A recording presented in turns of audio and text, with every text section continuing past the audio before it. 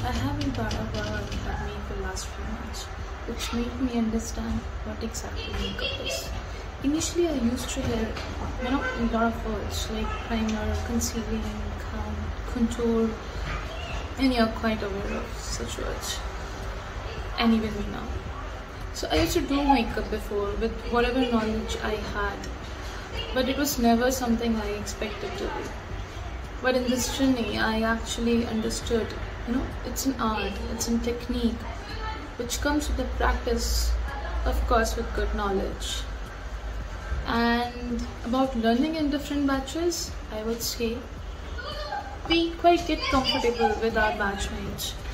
But when you get into uh, you know learning with different batches, um, you get to hear get to hear you know a lot of new questions, which your your your team might you know missed it, missed asking it. So this is uh, something I would say quite advantageous in learning with different matches Thank you.